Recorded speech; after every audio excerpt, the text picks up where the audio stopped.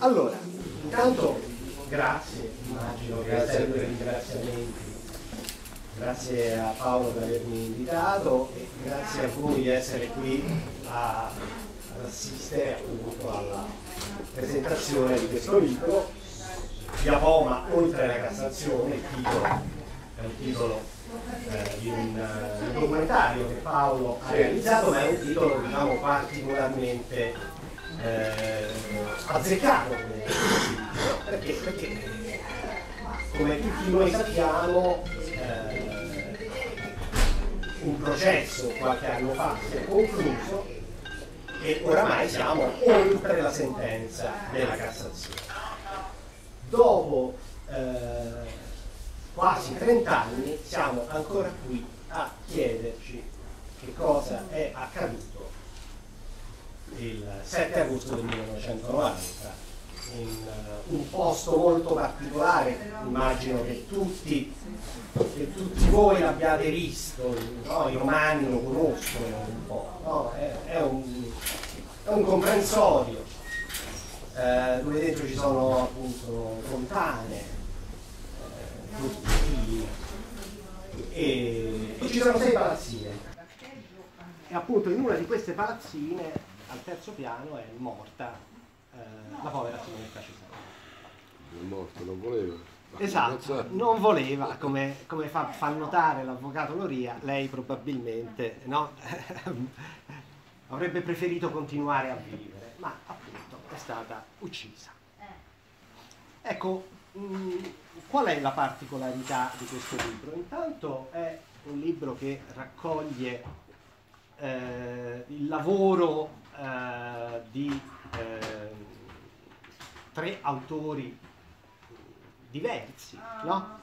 tra, tra, loro, che appunto eh, c'è Paolo Cochi che è un documentarista, ma insomma diciamo non nuovo, no? poi chi, chi, lo segue sa che insomma lui è, è diventato eh, particolarmente ha, ha, raccolto particolari attenzioni per un libro che ha fatto qualche anno fa sui delitti del mostro di Firenze.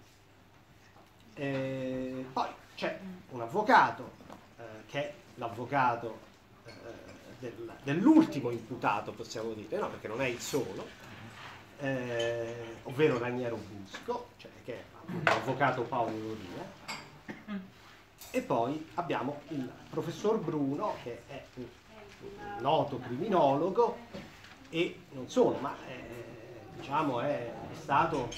Eh, I criminologi di oggi si sono formati fondamentalmente alla sua scuola. Ecco, questo credo che si possa dire con grande tranquillità. E eh, tutti e tre hanno avuto a che fare con il, con il delitto di Apò, ovviamente Paolo più recentemente, no? ma anche il professor Bruno a suo tempo no? eh, è stato, eh, è stato eh, coinvolto direttamente eh, nelle indagini. Eh, le, la caratteristica di questo libro è che restringe molto il campo. Eh, diciamo che chi conosce il caso, eh, leggendolo, si fa un'idea molto precisa di chi possa essere eh, il colpevole. Ma anche chi non lo conosce, cioè chi non lo conosce eh, sarà certamente portato a pensare che eh, il delitto si è consumato in un ambito ristretto al palazzo, anzi di più, all'ufficio. all'ufficio. Quindi la caratteristica del libro è che restringe il cerchio. No? Intanto spiega perché eh, molte ipotesi che sono state fatte e che ancora vengono fatte, perché di questo caso si continua a parlare molto, diciamo, devono essere considerate eh, meno realistiche e perché invece tutte le ipotesi che hanno a che fare con quell'ufficio invece eh, probabilmente potrebbero portare a eh, una visione molto realistica di quello che è accaduto. Io personalmente insomma, la penso un po' come Paolo, cioè nel senso che ci siamo anche confrontati più volte su questo, su questo delitto. Tra breve entreremo dentro il processo che io ho seguito, l'avvocato lo sa, eh, cercheremo di capire no? anche le dinamiche di quel processo. Le logiche. Le logiche e cercheremo, insomma, cercheremo anche di capire eh, perché si è finiti ad incriminare l'ex fidanzato di Simonetta Cesaroni, ovvero Regnaro Busco. E poi cercheremo di capire con il professor Bruno anche eh, e soprattutto, no? eh, anche insomma, leggendo quello che ha scritto ho capito perfettamente che cosa ha in mente il professor Bruno, ma non è una novità, insomma. Eh, ma cercheremo di capire, cercheremo di capire eh, che cosa è accaduto anche eh, in quei giorni, intorno, cioè quando, quando sono iniziate le indagini. Eh, bene, allora io dico che intanto eh, Paolo, Paolo Cochi, perché qui di Paolo ce ne sono due, Paolo Cochi intanto ci racconta la genesi del libro, che mi sembra, no? Ecco, solitamente l'autore parla per ultimo, no? Ma probabilmente poi ci saranno molte domande, no? Ma avendo qui il professor Bruno abbiamo deciso di eh, no? eh, far parlare appunto per ultimo il professore. Dunque il libro appunto come dicevi tu eh, nasce dal, dal, documentario, nasce dal documentario che eh, non è uscito ancora in forma integrale eh, ma è stato trasmesso nella, nella versione più corta ed è eh, il mio lavoro che è quello di, del, che ricostruisce i fatti, viene eh, la prima parte e riguarda appunto la ricostruzione del caso, la ricostruzione a livello temporale, documentale, storica e lo fa come? Lo fa eh, facendo parlare i personaggi che, che, hanno vissuto questo caso attraverso gli atti di indagine verbali e mette a confronto appunto eh, determinate dichiarazioni di eh, determinati personaggi con poi quelle che poi sono venute al processo e da qui nascono molte, molte incongruenze. Il mio compito, il mio obiettivo è stato appunto quello di raccontare la vicenda e di farlo in maniera documentale con gli atti e con, eh, e con i verbali. Spero di esserci riuscito, ho dato anche un, un taglio cercando di circoscrivere come dicevi tu, il, la storia perché è molto ampia, senza trascurare anche gli altri aspetti, e eh, mettendo insieme determinati eh, atti e interrogatori, secondo me, anzi secondo noi, perché poi eh, si delinea un quadro abbastanza eh, verosimile. Abbastanza verosimile e chiaramente non c'è una prova eh, schiacciante, questo, la, la, pistola fumante non c'è, però eh, attraverso gli atti e guardando determinati atti e determinati interrogatori si capisce un po' cosa è successo il 7 agosto del 90, a mio avviso. Allora, intanto cominciamo ad entrare dentro, eh, dentro il caso. No? Allora, una cosa la devo dire, eh, io ho assistito eh, al processo di primo grado, oltre che appunto anche a quello di secondo grado. E devo dire che quest'uomo che sta qui, no? Eh, io l'ho visto davvero, come dire, ha vissuto sicuramente in quel momento una grande solitudine, perché eh, si capiva subito, no? Cioè, l'ho capito io da giornalista, i miei colleghi erano d'accordo con me. diciamo che avevano già deciso prima di iniziare il processo. È brutto dire questa cosa, me ne assumo tutta la responsabilità, no? però la mia impressione eh, è, stata, è stata questa. E insomma, in un clima così non è facile difendere un imputato. Lo so benissimo, ma normalmente non è facile difendere l'imputato. E quando parli di solitudine posso anche capire cosa intendi. Ti spiego quella che è la mia solitudine o la solitudine dell'avvocato che si trova davanti ad un collegio e deve cercare di difendere al meglio l'imputato, sia esso colpevole o non colpevole, perché noi non siamo i perimeson che risolvono il caso, fanno assolvere l'imputato e portano il colpevole davanti al giudice, non è così. Anche, anche l'imputato colpevole, certamente colpevole, deve essere difeso, deve essere difeso non perché deve essere salvato dalla galera, o, o, deve essere assolto, ma deve essere difeso perché deve avere un processo giusto secondo quello che prevede il rito del processo e così via dicendo. La solitudine perché? Perché ad un certo punto l'avvocato si trova davanti al pubblico ministero, tutto il resto scompare, esatto. scompare l'imputato, scompaiono i testimoni. Io ho un avversario che è il pubblico ministero con le sue tesi, con le sue prove, con la sua potenza enorme di fuoco, perché il pubblico ministero la polizia, i carabinieri, la guardia di finanza, la forestale, ha tutto a disposizione, tutti i mezzi tecnici e non ha limiti neanche di spesa. Se noi andiamo a pensare quello che si spende per intercettazioni telefoniche sono centinaia e centinaia di migliaia di euro, qualche volta milioni di euro.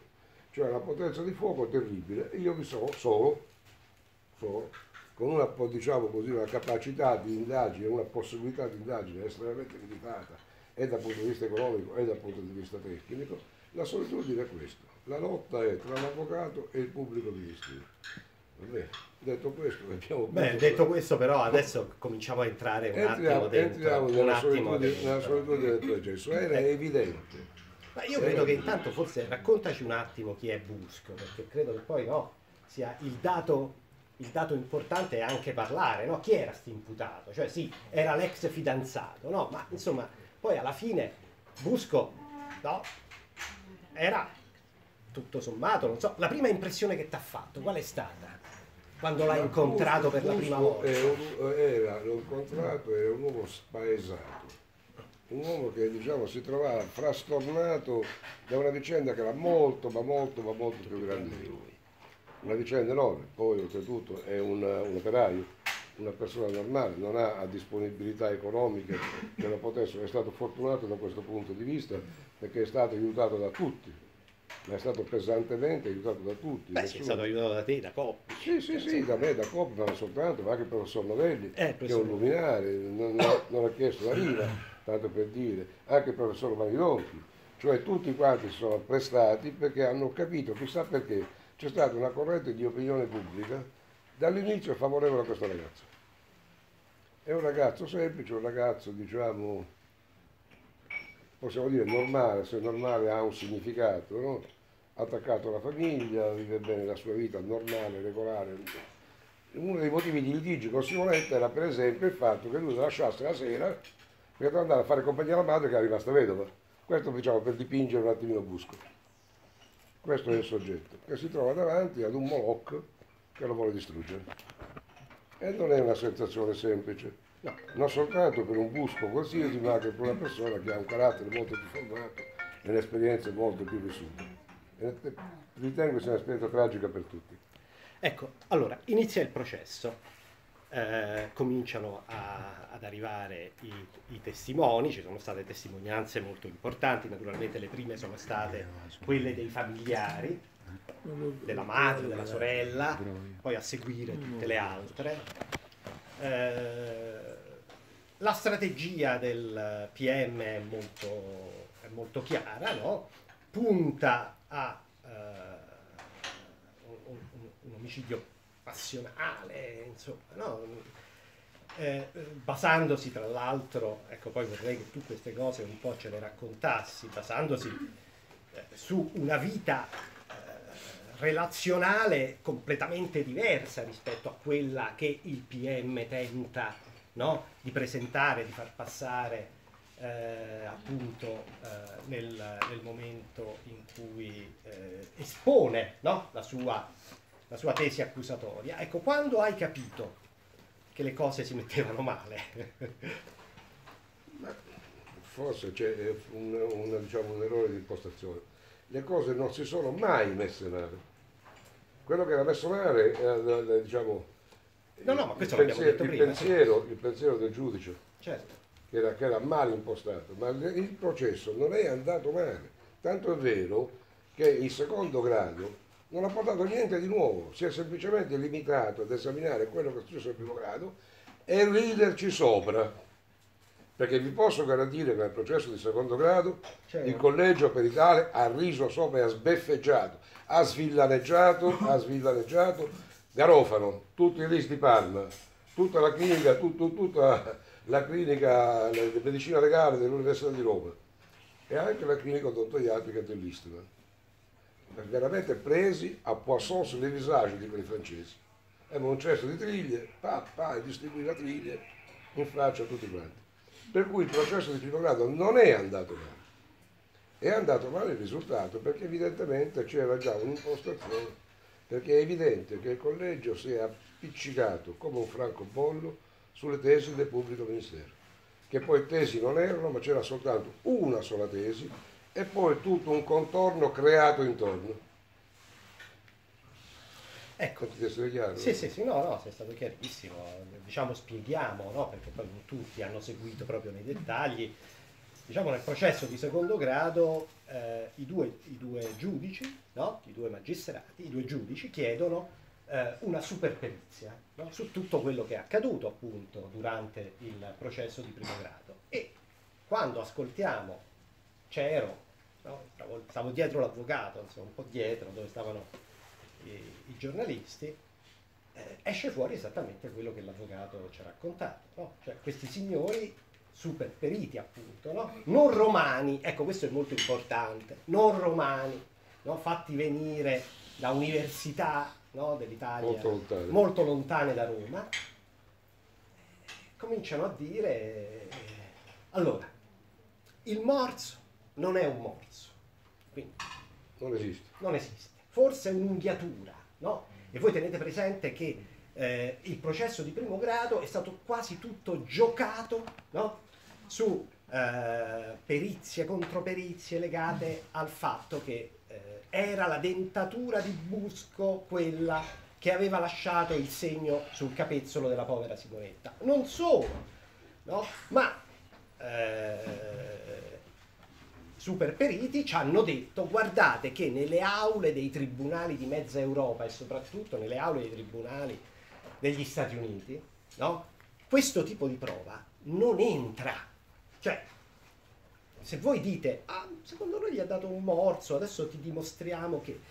Cioè, il giudice eh, americano, ma anche no, in Europa questo accade, si mette a ridere e dice se questa è la prova che c'hai, no, cioè, il processo non si fa, perché evidentemente non viene nemmeno presa in considerazione, no, nemmeno come indizio.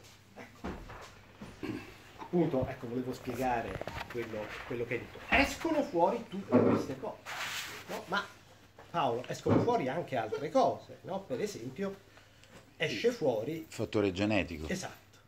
In fattore genetico, fattore genetico, perché sì. racconta un attimo. Beh, in realtà nel, nel procedimento a Busco viene eh, trovato il, il, suo DNA nel corpetto e nel reggiseno della vittima. Però bisogna anche tener conto, e questo il primo grado forse non ne tenne conto, del fatto che il reggiseno, il corpetto, è un, un qualcosa che viene dall'esterno e quindi Busco, essendo il ragazzo ed essendosi appunto visti anche la sera prima, poteva essere benissimo un elemento di, eh, di contaminazione esterna.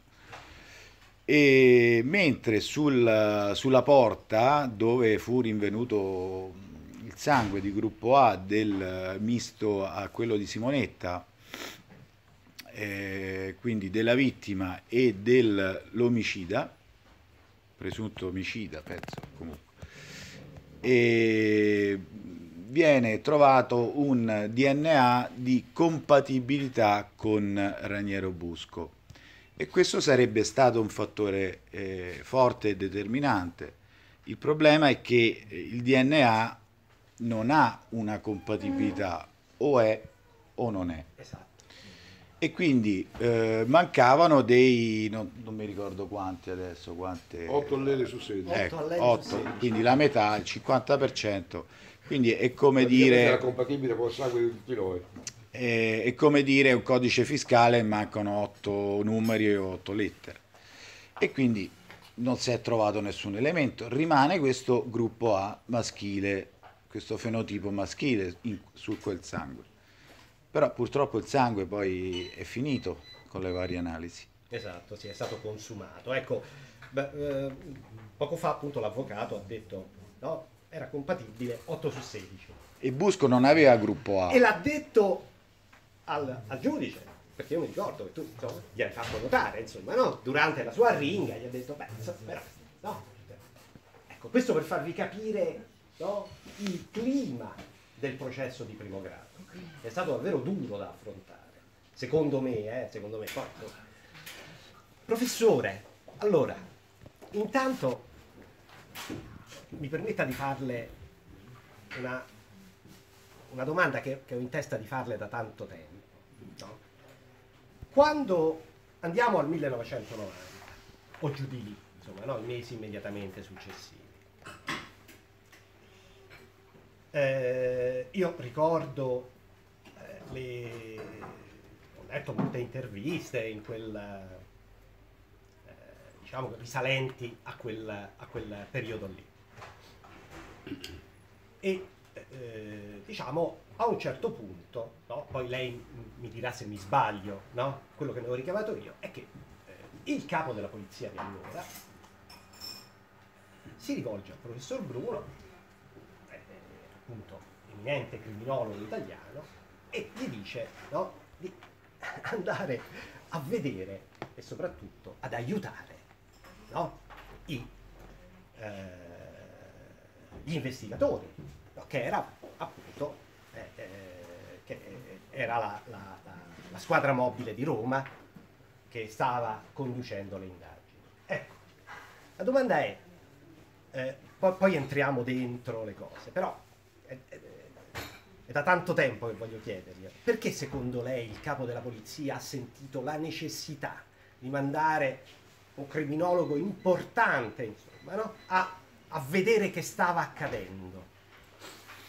Eh beh, perché eh, io ricordo di aver letto della, della situazione di Via Poma, del fatto di Via Poma, eh, sul giornale o, o, o, o no, forse addirittura mh, mm, di averlo sentito alla radio.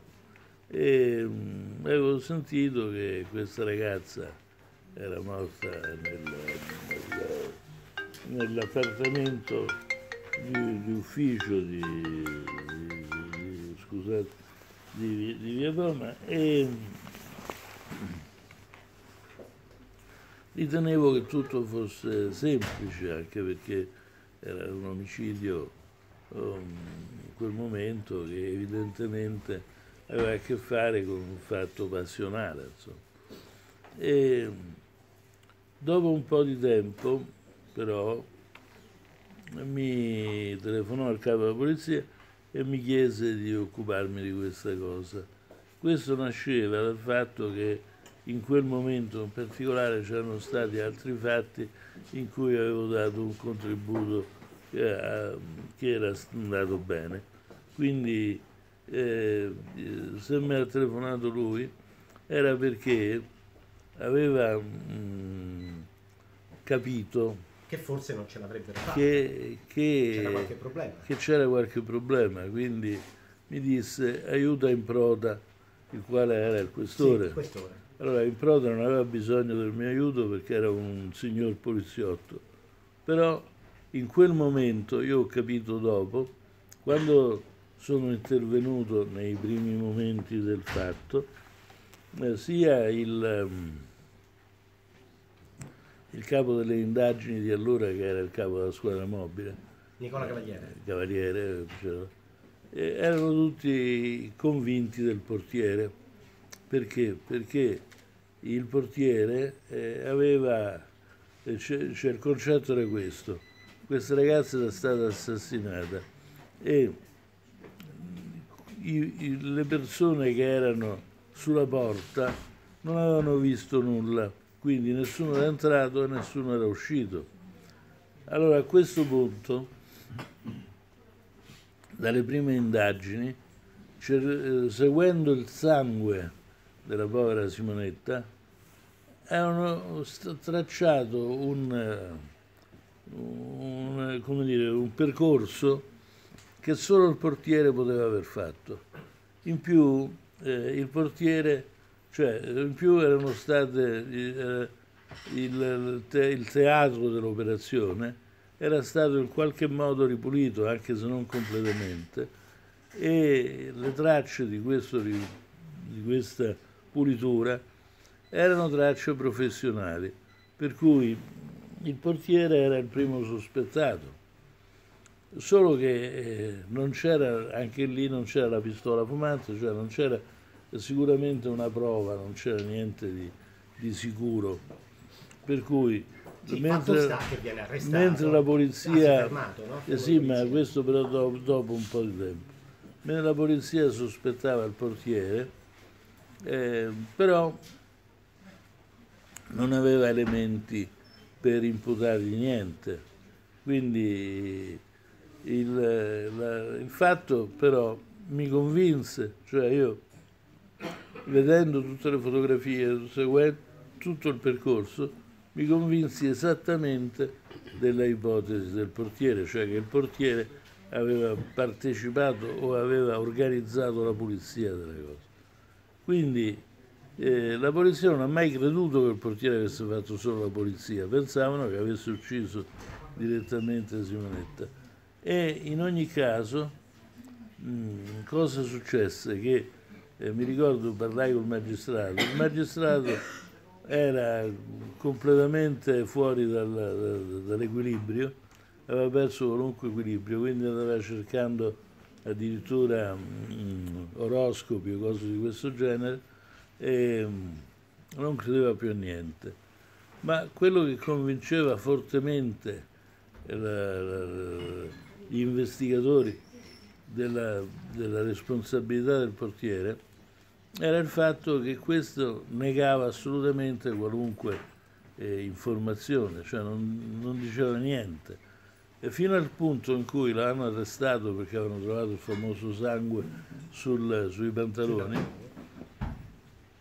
che poi si dimostrò essere sangue suo, ma com- quando in quel momento lo arrestarono, eh, anche in quel momento il portiere non disse niente. E solo in un certo momento notturno in piena difficoltà eh, fece lui la descrizione di questo signore che sarebbe sceso con un fagotto sotto il braccio che avrebbe dovuto contenere i vestiti di Simonetta e se ne sarebbe andato. Questo racconto fatto da lui fu fatto dalla moglie e eh, immediatamente la polizia cominciò a seguire questa storia per poi scoprire che questo signore, che era comunque uno che lavorava lì presso la, la sede del, del, dell'AEG, Forza, si chiama. Forza. Esatto, questo signore non era in quel momento in Italia, Fortunatamente ecco, per lui, fortunatamente per lui stava in vacanza sappiamo, in Grecia, in sappiamo Turchia, che cosa sarebbe, Turchia, gli sarebbe successo se fosse stato in Italia. Quindi costui eh. se n'è uscito. A questo punto ancora di più, ehm, ricordo, in Prota era, eh, non, non riusciva più a, nessuno riusciva più ad avere un senso di ragione perché tutti eh, insistevano sul portiere e pregavano eh, in, in, tutti i modi che il portiere parlasse. Erano sicuri che il portiere sapesse e quindi doveva parlare. Infatti e, abbiamo, ho avuto modo di parlare, insomma, oltre che con lei, ho avuto modo di parlare con il capo del, appunto, della mobile di allora che mh, mi ha ribadito eh, fino a, alla nausea che eh, secondo lui il portiere non poteva non sapere che cosa era accaduto. Forse, no, mi ha detto appunto Nicola Cavaliere, ma l'ha detto anche pubblicamente, quindi insomma lo possiamo, lo possiamo senz'altro dire, probabilmente eh, forse no, non ha partecipato al delitto, ma certamente è entrato dentro la, eh, la, diciamo, la scena, è entrato nella scena del crimine e ha fatto qualcosa, ha depistato, ecco, insomma.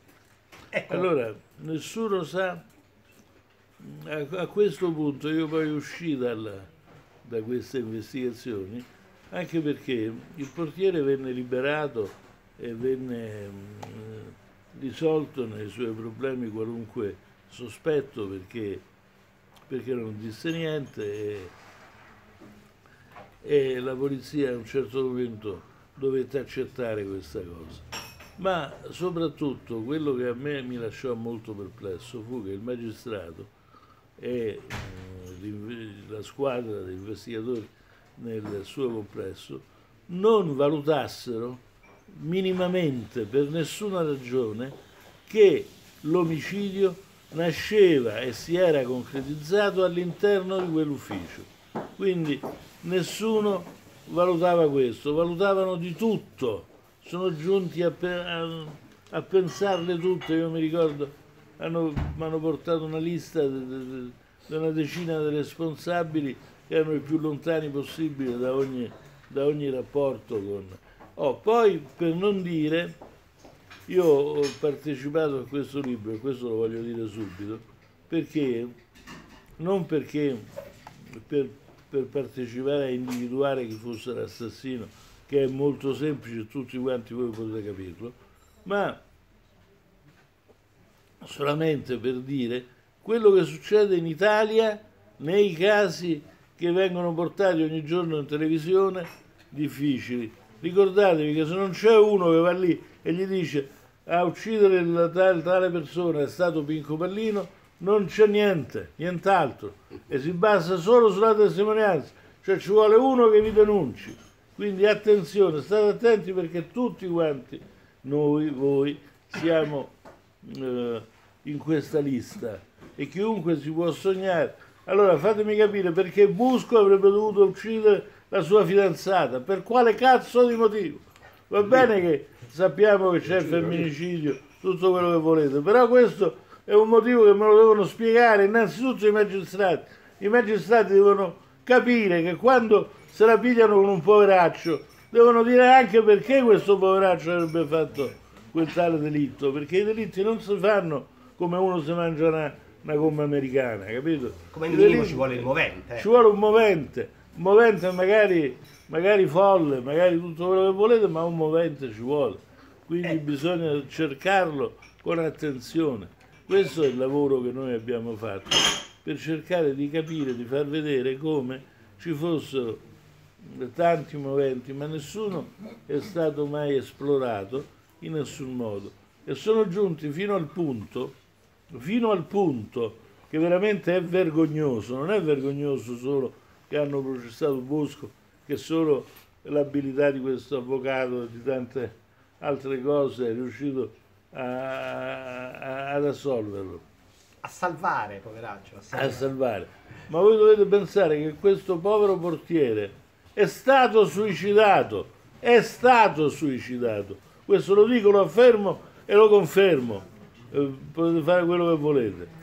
E l'hanno, nessuno si è ribellato, nessun idiota, nessun, parlo per, quando parlo di idioti intendo giornalisti, anche se lui eh, nessun idiota ha, ha, scritto sul suo giornale. Ma come cazzo mi viene in mente di dire che si è suicidato un poveraccio così in questo modo? Allora io so con certezza per miei, miei mezzi personali che questo è stato suicidato ma ehm, nessuno eh, si sono bevuti questo fatto del suicidio come se niente, del, come se niente fosse. Cioè questo poveraccio ha aspettato vent'anni prima di suicidarsi e poi si è suicidato per ragioni che non c'entravano niente. È vero che i carabinieri gli rompevano le scatole tutti i giorni per cercare di farsi dire loro quello che lui non aveva voluto dire alla polizia. È vero che la polizia non, aveva, non l'aveva mai eh, cancellato dalla sua, dalla sua, mente, però eh, questo non c'entra con quello che è stato fatto passare come suicidio, come se uno si potesse suicidare in 30 centimetri di acqua. Provate voi nella vostra vasca da bagno a suicidarvi, voglio vedere come fate. Non, non, potete suicidarvi se non ci buttate quantomeno una cosa elettrica dentro. Per suicidarvi non potete pensare che voi andate in mare, vi infilate dentro l'acqua e quando non respirate più vi suicidate. No, perché quando non vi respirate più siete portati a fare di tutto per respirare, per, per, per alzarvi. Soltanto una mano che vi tiene lì sotto non vi fa respirare e quindi vi suicidate. Ciò nonostante questi signori hanno fatto tutto, quindi quando noi diciamo che il, eh, il processo era già scritto, diciamo una stupidaggine perché non è processo, quel processo che era già scritto. Tutti i processi che si fanno in Italia sono già scritti. Non c'è in Italia giustizia e non c'è giustizia per duemila motivi, perché pur avendo noi dei buoni investigatori e dei buoni, io non voglio prendermela con loro, me la prendo con chi dà a loro degli ordini. E gli ordini purtroppo sono sempre ordini eh, fuori luogo, cioè che, che, che, che individuano un soggetto come criminale. Allora, posso, posso interrompere Sono diciamo, all'80% d'accordo col professore perché la giustizia in Italia. È una cosa molto difficile da raggiungere. Però devo anche contraddirlo perché questo caso è la manifestazione che la giustizia esiste. Perché è stato sbagliato il primo grado, ma il secondo grado e la Cassazione hanno corretto e hanno corretto pesantemente gli errori del primo grado. Per cui, bene o male, in qualche modo la giustizia si raggiunge. Farei la distinzione tra magistratura inquirente e magistratura giudicante. La differenza è enorme. Nella magistratura inquirente possiamo dire tutto il male possibile e immaginabile e aderisco perfettamente a quello che dice il professore. La magistratura in, in giudicante, a meno di casi particolari come in questo, quando si aderisce acriticamente alla tesi del pubblico ministero, la magistratura giudicante normalmente è meglio e qualche volta, anzi diverse volte riesce a rendere giustizia. Chiudo la parentesi e mi scuso della, no, no, contraddizione, della contraddizione. Quando la magistratura giudicante riesce a, ad elaborare un'idea e riesce a tenere questa idea, si rende conto facilmente che quello che gli sottopone il pubblico ministero è ciarpame e quindi qualche causa si vince e qualche disgraziato può essere assolto ma perché un disgraziato possa essere assolto deve essere un ingegnere nucleare, non il povero Lindo, chiaro? Ecco. Allora, io direi che facciamo un altro giro no? sì. e poi chiediamo al pubblico se vuole interloquire con sì. noi. Bene, e allora cominciamo da te Paolo. Eh, beh, insomma, adesso è chiaro che nessuno di noi vuole fare nomi o entrare dentro no? eh, una eh, realtà complessa e complicata come questa, tra l'altro appunto. Eh, io però vorrei riprendere un attimo quello che diceva prima appunto il professor Bruno. Sì. Cioè, a voi pare possibile che dopo quasi 30 anni nessuno ha ipotizzato un movente credibile no? per un omicidio tragico come quello di Via Como, eppure è così, la magistratura non è riuscita a ipotizzare un movente, perché poi chi è che lo deve fare? La magistratura, no? Paolo, tu un movente, ne abbiamo parlato svariate volte, probabilmente, insomma, no? Ci hai pensato. No? Sì. Io credo che senza, ovviamente, perché diciamo tutti noi no, siamo per il rispetto no, quindi nessuno per, per, una sorta di, di, di deontologia, no? per cui nessuno di noi dirà nomi di persone eh, accusandole di aver commesso omicidi. Però ecco, ce la fai a raccontarci la tua idea senza, senza sì. nomi? No, posso dire che ehm, posso dire che qui parliamo di un, di un soggetto che ha agito compulsivamente che però poi è stato aiutato da altri, da altre persone, questo lo sta sono vari elementi che lo dimostrano, tra cui il sangue essiccato, il, il sangue sul corpetto che non c'è e quindi è, passata, è passato un, un, periodo di almeno un'ora eh, che ha seccato appunto il sangue della ragazza. Dobbiamo no... spiegare, no? Sì. Cioè, eh, l'assassino, secondo appunto tutte le ricostruzioni che sono state fatte, poi prima di abbandonare la scena del crimine lascia il corpetto, eh, Simonetta indossava eh, sopra la biancheria intima un corpetto di pizzo e lo lascia cadere sul corpo. Lo depone. Ecco, lo depone. Lo depone. Ecco, questo, questo, non è sporco di sangue. Non è sporco di sangue, questo sta a significare che l'ha fatto minimo un'ora dopo e quindi o il soggetto che ha compiuto l'omicidio o come credo io poi qualcun altro intervenuto successivamente e danno la uh, certezza che questo uh, delitto è avvenuto in due fasi. Il movente è chiaramente di un movente da rifiuto, posso dire questo. L'ambito è quello territoriale, l'ambito in cui è maturato questo delitto, e molto circoscritto a dove lavorava appunto la ragazza perché vedendo le carte e esaminando appunto i documenti non si capisce perché non vengono poste ai vari testimoni, alle varie persone chi lavorava con la ragazza, chi era nell'ufficio, chi comunque la frequentava, determinate domande che sono le domande basilari dell'investigazione e risulterebbe che il, il, Volponi, che era, questo nome lo devo fare, ma come testimone, che era colui insieme a Bizocchi che la mandò all'AIAG, non si è ancora ben capito se eh, realmente conoscesse gli uffici di Via Poma o non li conosceva. Certi personaggi non sono stati neanche messi a confronto quindi questa ragazza doveva riconsegnare le chiavi a chi? Doveva finire il lavoro quando? Tutte queste domande nell'immediatezza delle indagini non, non, sono state formulate praticamente, cioè non, non, non le ritroviamo negli interrogatori. Ecco, quindi come dice il processo, eh, professor Bruno, eh, gli investigatori non si... Ehm, non pensarono proprio a quel, a quel contesto, evidentemente. Perché se no avrebbero comunque eh, sviluppato un'indagine in questo senso. Questo non è stato fatto. Allora, volevo... ascoltiamo prima ah, l'avvocato e poi, e poi lascio la parola a lei.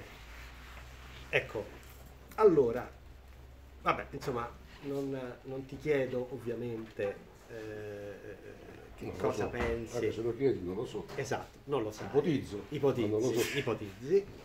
Però, insomma, secondo te, ecco, ti faccio una domanda che forse ti può permettere di raccontare il tuo punto di vista. Secondo te c'è stato o non c'è stato un depistaggio?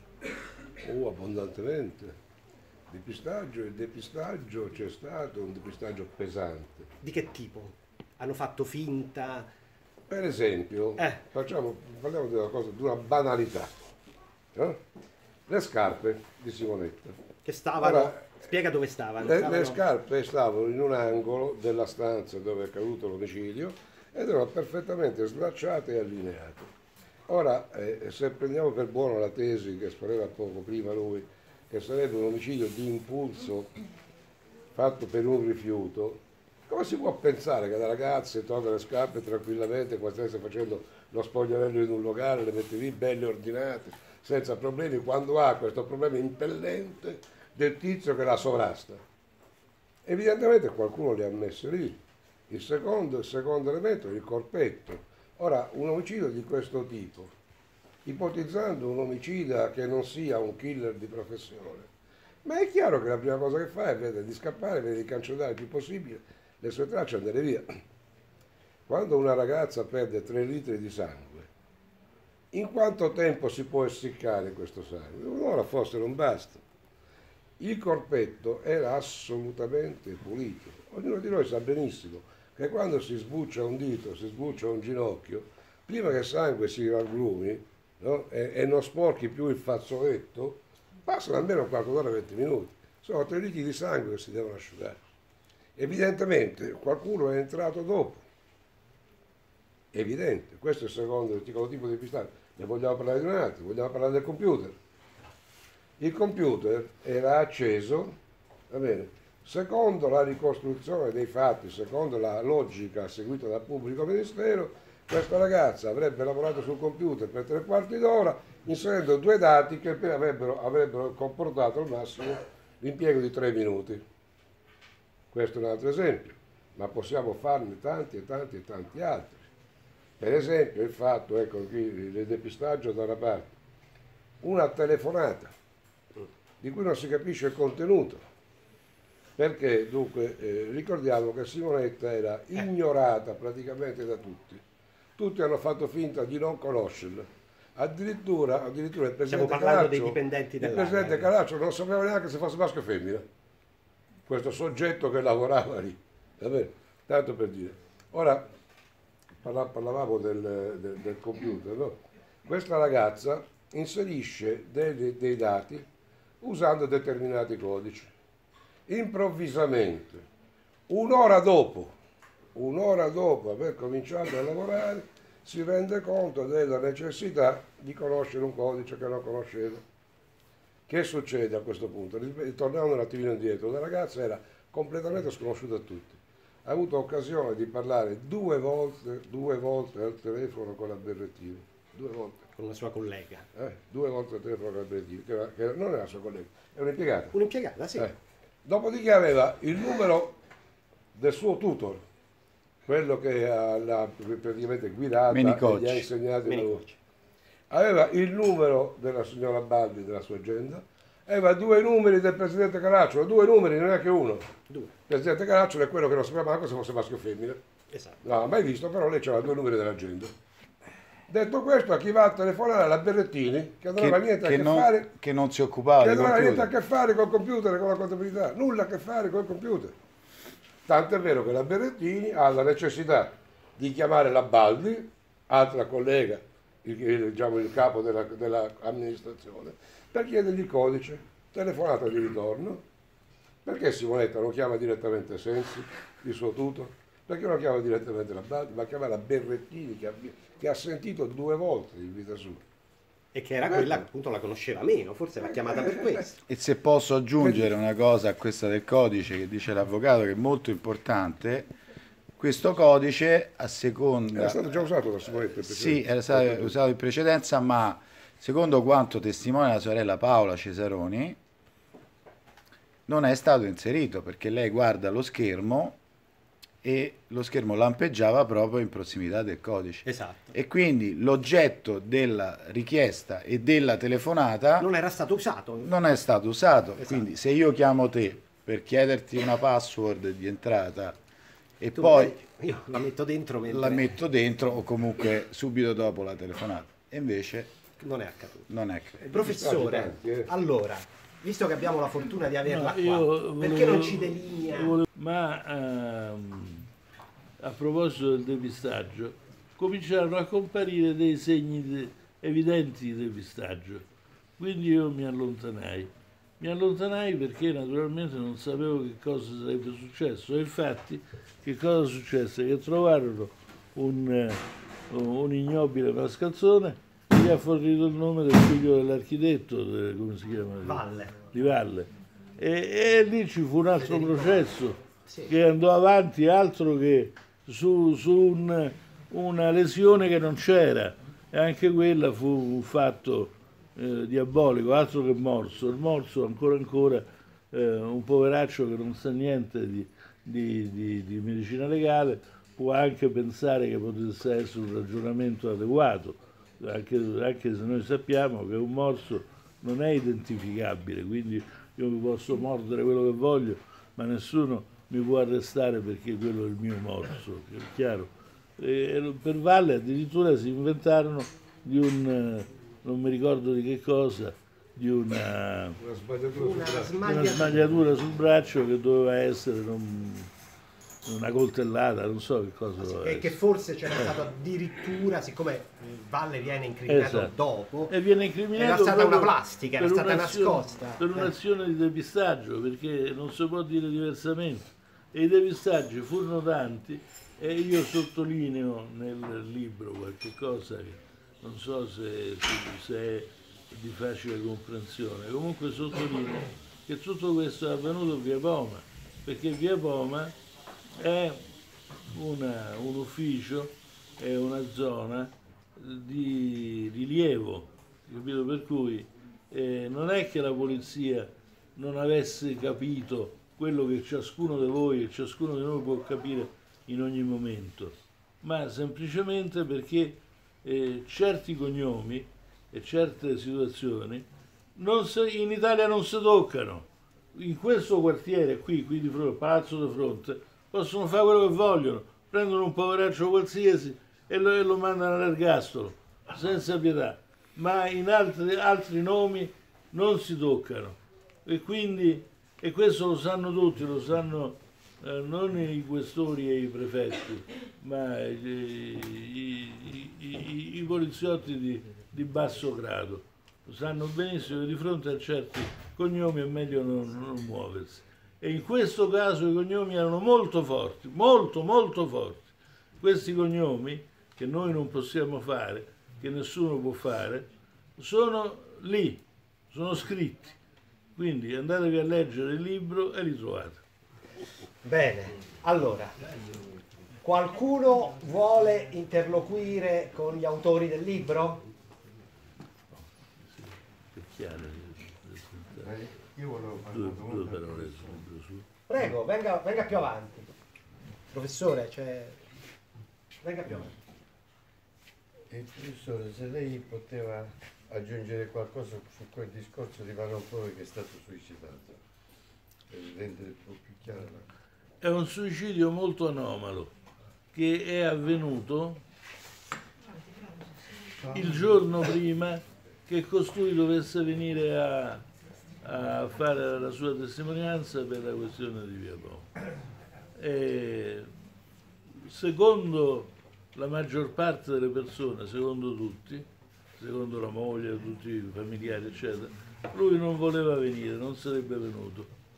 E anche secondo io ero molto amico del suo avvocato, il quale mi diceva che lui eh, diceva tu puoi non venire perché tanto te tu sei fuori, da, mandare a quel paese e non venire. Ma lui era molto preoccupato proprio per queste visite continue che gli facevano i carabinieri. Ed era molto preoccupato, aveva paura che in qualche modo lo ritirassero dentro. E per questo motivo nell'ultimo momento aveva scelto di venire. Questa è una eh, confessione che mi ha fatto il suo avvocato, che purtroppo è morto e quindi non me la può confermare. Ma me l'ha fatta quando a un certo punto io gliel'ho chiesto eh, con i denti da fuori perché avevo capito, avevo saputo che ehm, nell'autopsia di questo disgraziato si erano inventati che lui, per, per, potersi suicidare in quel modo, si era alcolizzato, si era preso chissà che cosa, e invece nella sua autopsia non c'era niente, non c'era niente. Quindi lui si sarebbe ammazzato legandosi una corda a una, a una caviglia e gettandosi in un posto dove c'erano 30 centimetri d'acqua 30 cm d'acqua e se fai così tiri la testa fuori, capito?